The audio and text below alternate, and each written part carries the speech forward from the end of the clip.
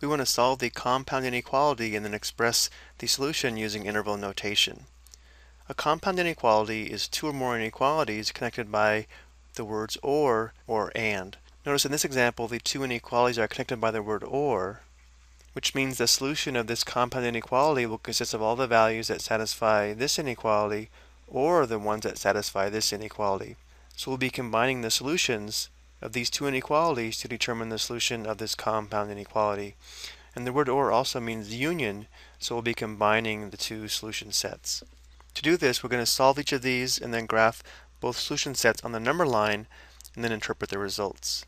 So we'll first solve 15x minus 3 is greater than 9x plus 15 and then we'll solve negative 23 plus 4x is greater than or equal to 12x plus 1. So notice that we have variables on both sides of the inequality. So the first step is to get the variable terms on one side.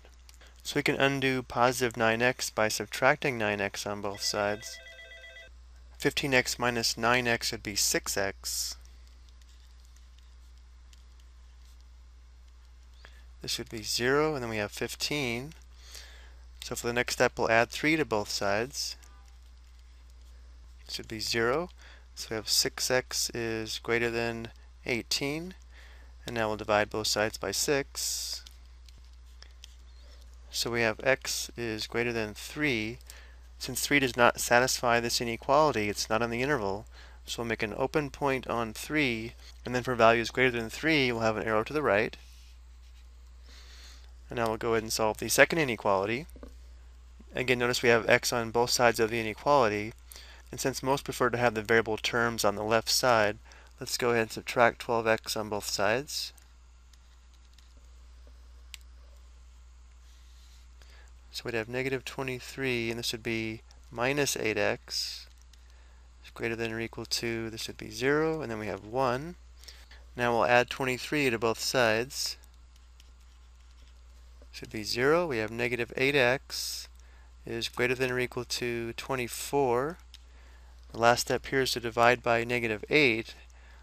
But remember, when dividing by a negative, we have to reverse the inequality symbol.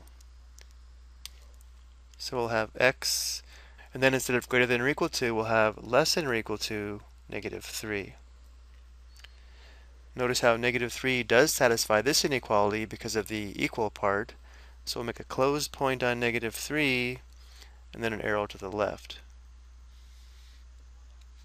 Because we want values less than negative 3. So this would be the graph of our solution. Now let's go ahead and express this using interval notation. As we move to the right on the number line, we approach positive infinity. As we move to the left, we approach negative infinity. So this will help us write the interval notation.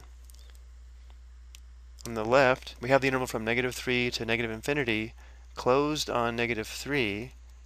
That would look like this.